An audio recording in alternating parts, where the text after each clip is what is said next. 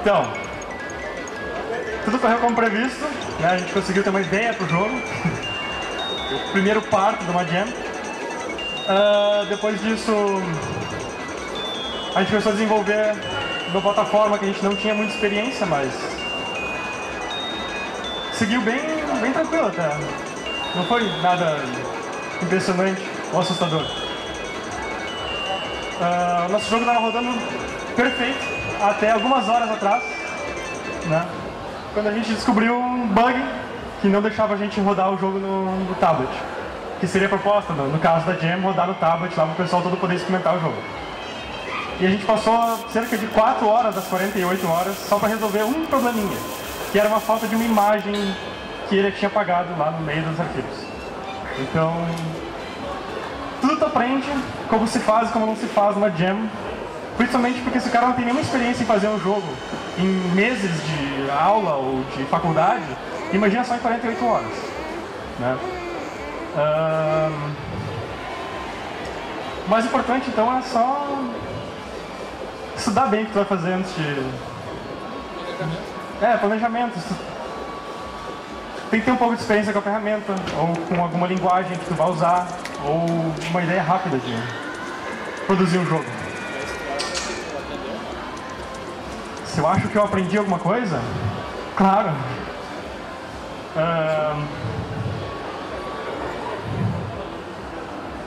é sempre bom poder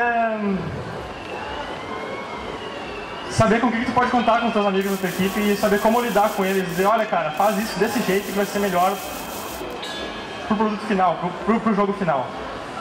E saber como lidar com isso com, com cada participante, com cada colega teu. Né? Às vezes funciona, às vezes o cara enrola um pouco, não vai muito bem com a tua dica.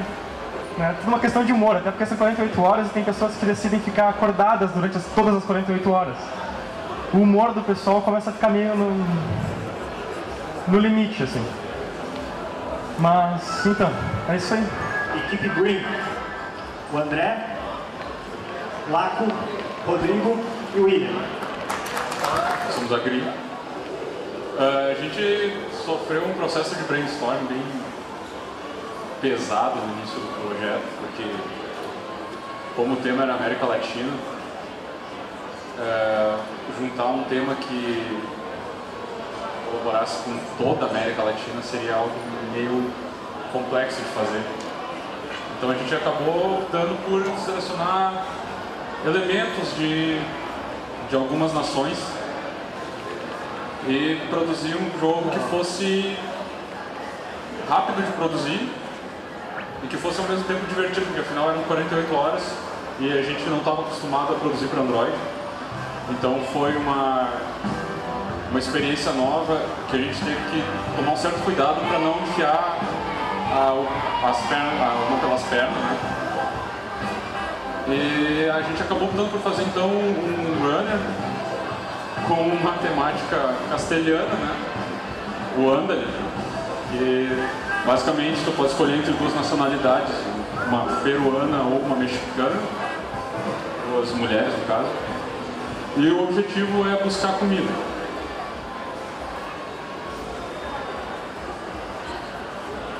Daí a velocidade vai progredindo de acordo com o avançado do level e tal. No fundo nós temos alguns elementos que remetem às culturas. Os, uh, os próprios personagens eles catam tacos e andam em lhamas. Não, não foi um bom jogador. É. A gente pegou uma estética mais cartoon também por uma questão de, de tempo e facilidade de desenvolvimento. Né? É, foram tomadas algumas decisões ao decorrer do projeto, como é, é, o projeto inicialmente era um pouco maior do que, do que isso, havia algumas opções a mais, mas mesmo podando aquilo, mesmo podando parte do projeto, ele ainda ficou com um gameplay bem, bem resolvido, então no fim foi uma decisão de, de, de gestão que foi válida. Então tu fica basicamente jogando e vai acumulando pontuação, no fim tu tem um ranking. Não sei se. Tem algum limite de velocidade ou ele atinge? Ele, ou é infinito?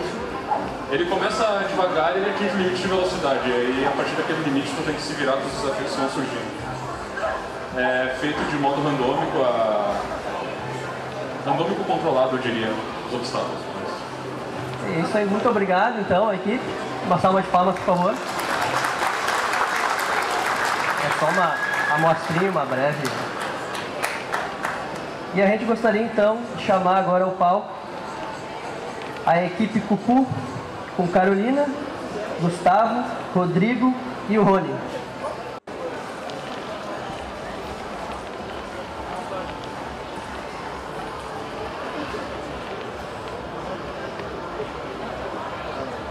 Boa tarde. Boa tarde. Uh, primeiro, apresentar a minha equipe. Uh, aquela lá que já está no computador é a Carol, nossa moderadora. Ali, nosso game designer, desenhista. Vocês estavam escutando antes. Uh, modeladora, game designer, desenhista. Uh, e nós estamos com a programação. Nosso jogo é um Tower Defense com misturado com o gameplay. É um Explica, explica pra quem não sabe o que é um Tower Defense. Tower é que é um Defense Defense? uh, é um jogo onde existe um, um path, um caminho uh, marcado, onde os inimigos passam por ele e tem que colocar estruturas que atiram nesses objetos e que tentam impedir que eles cheguem no outro lado do caminho. Ah, o tema era América Latina, a gente resolveu levar em conta o desmatamento e, o, e a destruição que acontece aqui, que é, que é uma coisa que acontece em comum em toda a América Latina, em todos os países.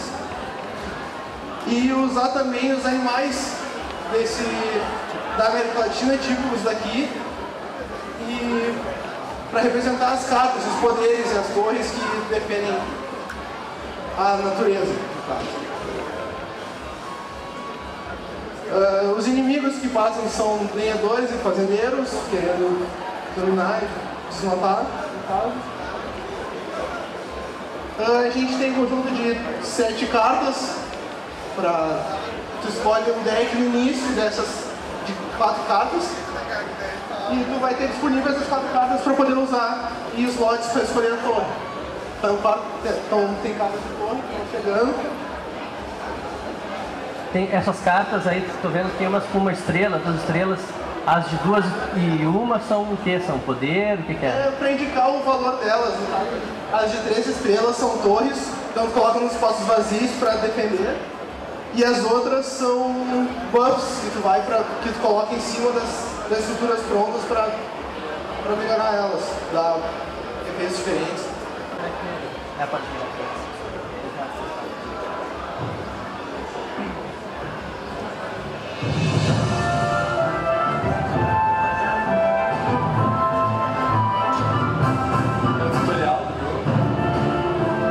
Pra que tutorial, né? Pra que tutorial? Aí são as cartas disponíveis, né? Cada uma faz um efeito diferente, pode escolher quatro delas para montar no deck. Tá com a resolução um pouco cortada aqui por clipe.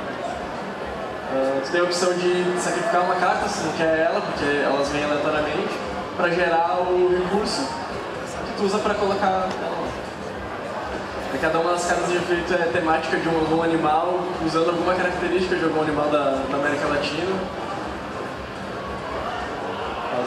Pra quem joga para defesa, aumenta o range, aumenta o dano, velocidade de ataque.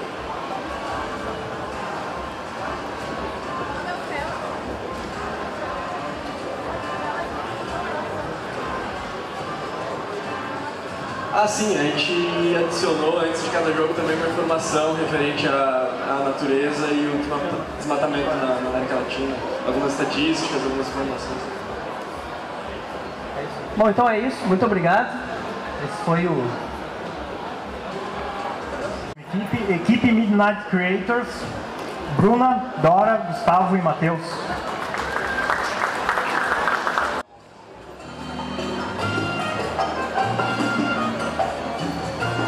Então o nome do nosso jogo é Prato Listo. Ah, tem o Paco, que é o nosso personagem principal, então. Que o Paco ele é uma lhama E o sonho dele é ser um grande chefe, né? Então ele comprou um livro de receitas latinas. Então, como é um documentário referente ao, ao tema, né? como é um tema muito abrangente, ah, a gente estava pensando em fazer uma coisa simples e prática que pudesse abranger então toda a cultura da América Latina, que é muito grande, muito ampla, né? Então a gente pensou em fazer, ir para esse lado da culinária, que é, que é muito rica, rica e simples, né? Então, a gente... Então, o nosso grupo aqui é Bianca. Bianca foi a artista, né, que fez os personagens e tudo mais. Uh, Bianca, Dora e eu sou o Gustavo, a gente fez a parte da arte. E o Matheus, que é o programador. Uh, então a gente fez essa fez arte mais cartoon, cartoon né? Cartoon mesmo. E então começa já podendo escolher a receita dentro do livro de receitas do Lago. Do Paco. Do Lago.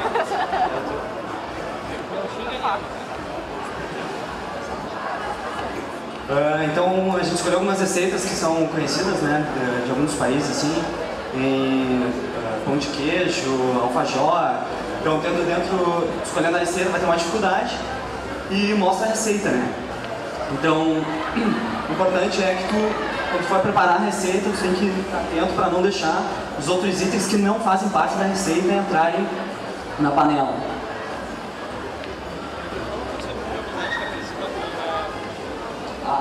Então a gente, um dos jogos que a gente usou como, como uh, para se basear foi o Fruit Ninja. Então que é um jogo mais simples, rápido, frenético, né? E, então vai caindo as. Vai caindo as, as, receitas, né? E as coisas aleatórias que não fazem parte da receita, tu tem que tentar tirar, não pode deixar entrar, né? Então deve ser meio ruim jogar de mouse, é melhor no touchscreen, né? que é, o objetivo era fazer no, no tab, né?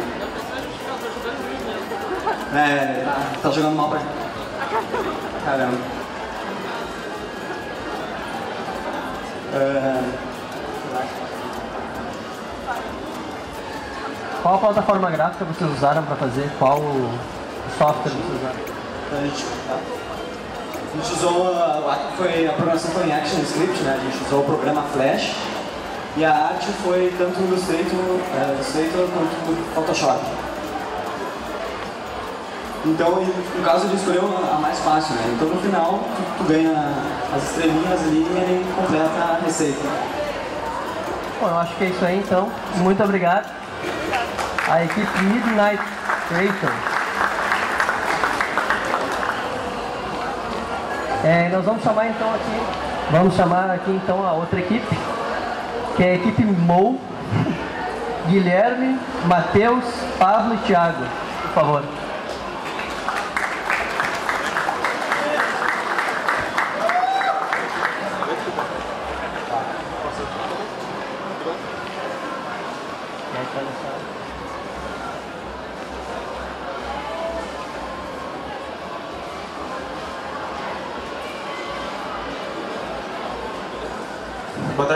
Tarde a todos, nós somos a MOU. Meu nome é Guilherme. É, é o Thiago, que vai jogar ali é o Matheus Nunes. E o Pablo, ele é o programador e ele acabou indo embora antes devido a outros compromissos. Bom, nosso brainstorm foi, foi um pouco complicado porque, como o tema foi América Latina, a gente achou um tema muito amplo e a gente tinha que tomar cuidado para não criar um game que não fosse estereotipado com estereótipos negativos de algum país ou outro, né? Então optamos por usar mais identidade visual para alguns países, como o México, coisas é, ou a Bolívia, o próprio Brasil no caso. A história do jogo é a seguinte, dois capitães de uma nave alienígena estão se sentindo muito entediados na sua nave e eles resolvem é, executar o seu plano de, de extermínio.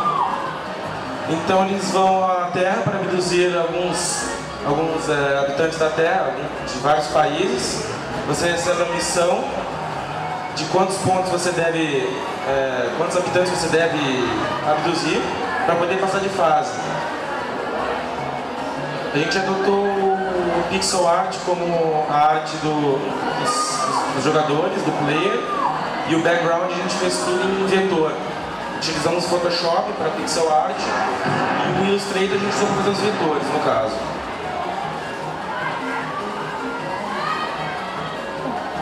Foi tudo animado também no Photoshop.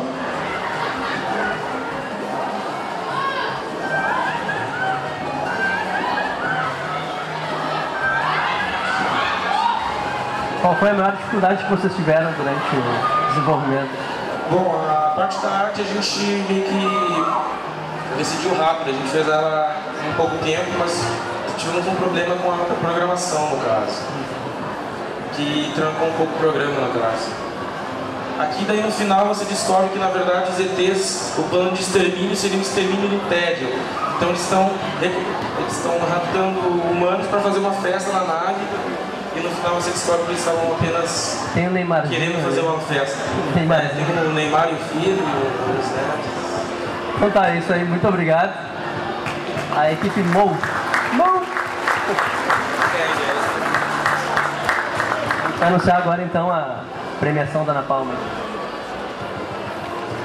Gostaria de chamar ao palco o senhor André Souza, representante da Ana Palma School, para entregar os certificados. Salva de palmas, por favor.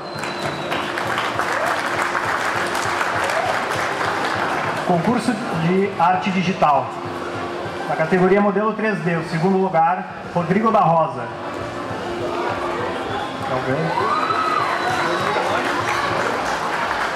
Primeiro lugar, Ian Pandars.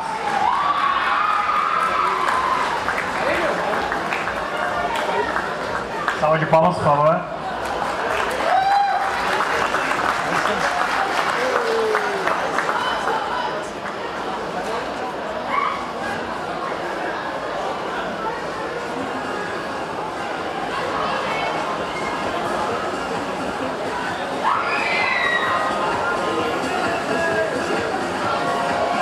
Na categoria pintura digital, terceiro lugar, Gabriel Hilgert.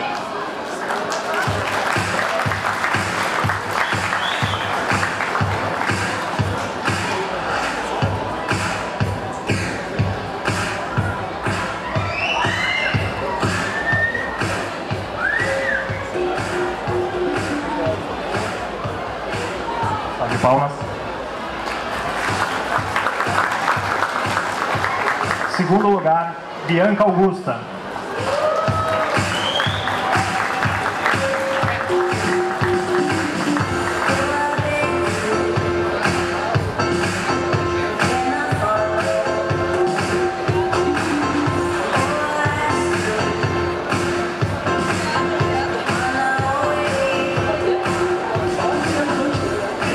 No primeiro lugar, Matheus Nunes.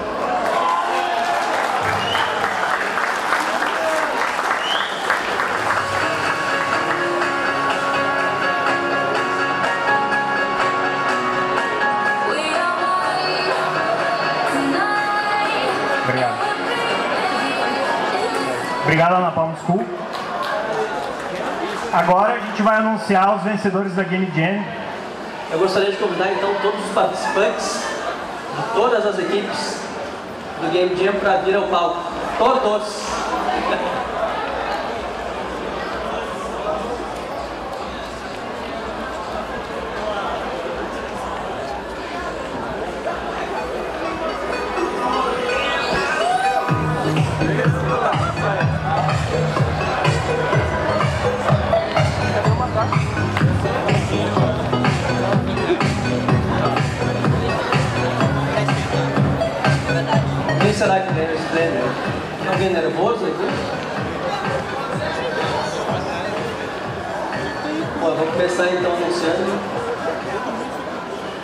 quarto colocado.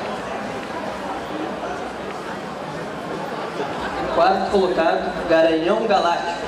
Uma salva de palmas, por favor.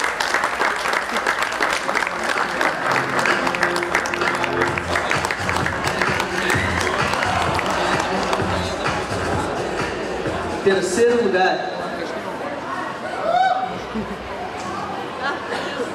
Midnight.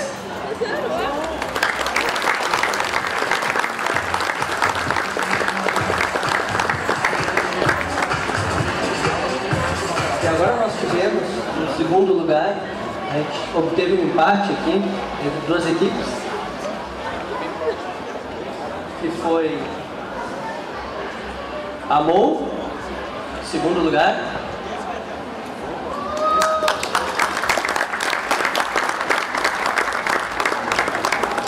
e a Green. As duas equipes estão no segundo lugar.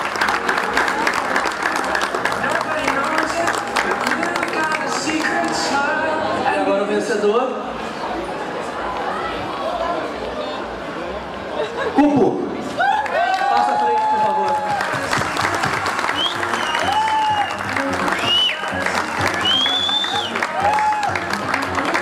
Eu gostaria também de chamar, para entregar a premiação aqui, do segundo e do primeiro lugar, o diretor executivo Paulo Raul Hanauer.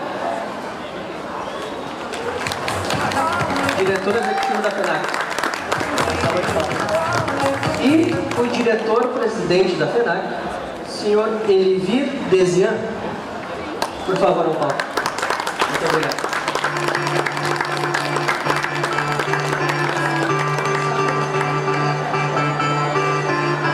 Parabéns, Lucas.